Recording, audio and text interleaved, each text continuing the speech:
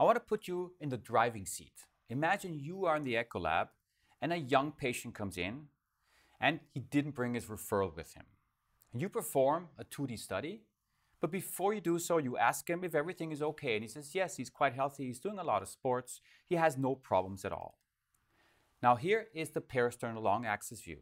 And obviously the question will be, how is left ventricle function? Is it normal? Look at the short axis view. Radial function seems to be doing okay. Here's another short axis view more at the level of the papillary muscles.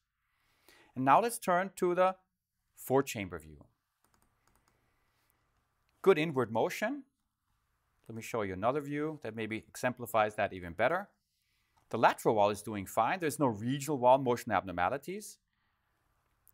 And you even see normal function here in the apical long axis view. Now, if you perform uh, analysis of ejection fraction, you would get a value somewhere in the range of maybe 55%, which is still normal.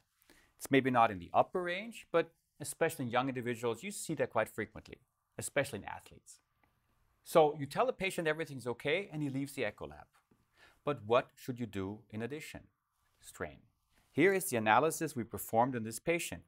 And all of a sudden you will see that, yes, he does have a problem. We see a reduction in longitudinal strain in the baseline, even in the mid segments. The apex is doing fine. Now, you might see a slight reduction in longitudinal function in athletes at the base, but not to that extent.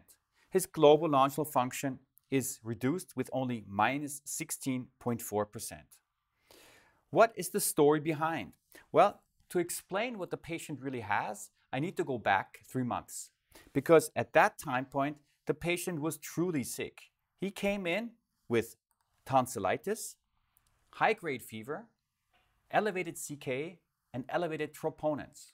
The patient had myocarditis. Take a look at his left ventricle function at that time. I guess you can now appreciate that his left ventricle function is reduced. It was somewhere in the range of 48% at that time. But not only that, but if you look closely, you will see that there's even spontaneous contrast here in the left ventricle. This is a sick ventricle. Let me show you the apical long axis view again. Right here, hypercontractile myocardium, diffusely reduced. And now let's turn to the strain pattern.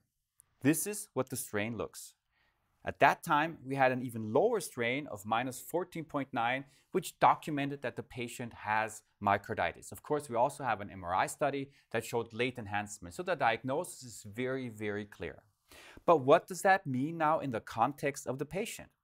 Well, it means that in essence, what we have is we have residual dysfunction of the left ventricle in this patient three months afterwards. He is definitely improving. You see that was the study before, and this is the study right now. But it's not normal now.